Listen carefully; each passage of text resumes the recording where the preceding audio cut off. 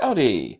I'm Professor Curtis of Aspire Mountain Academy, here with more statistics homework help. Today, we're going to learn how to find a z-score for a standard normal distribution using StatCrunch. Here's our problem statement.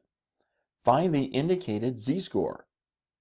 The graph depicts the standard normal distribution with mean 0 and standard deviation 1. Okay, here we have a graphical depiction of a standard normal distribution curve.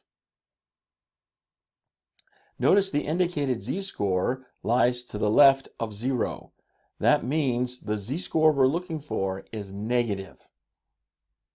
We're also given the area underneath the curve that's bounded by that z-score that we're looking for. So the simplest way to do this in StatCrunch is to go to Stat, Calculators, Normal. This pulls up the normal calculator.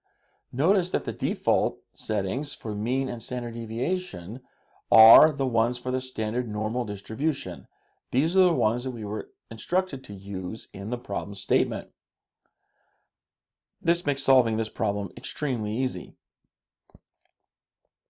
All I need to do now is put this area into this field in StatCrunch.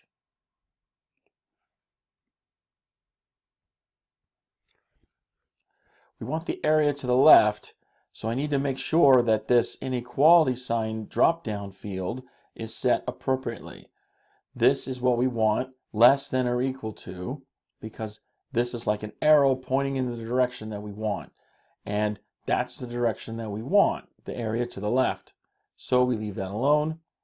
We press compute, and out comes our z-score. We are asked to round to two decimal places, so that gives me negative 0.62. Well done! And that's how we do it at Aspire Mountain Academy. Be sure to leave your comments below and let us know how good a job we did or how we can improve. And if your stats teacher is boring or just doesn't care to help you learn stats, go to aspiremountainacademy.com where you can find out more about accessing our lecture videos or provide feedback on what you'd like to see. Thanks for watching. We'll see you in the next video.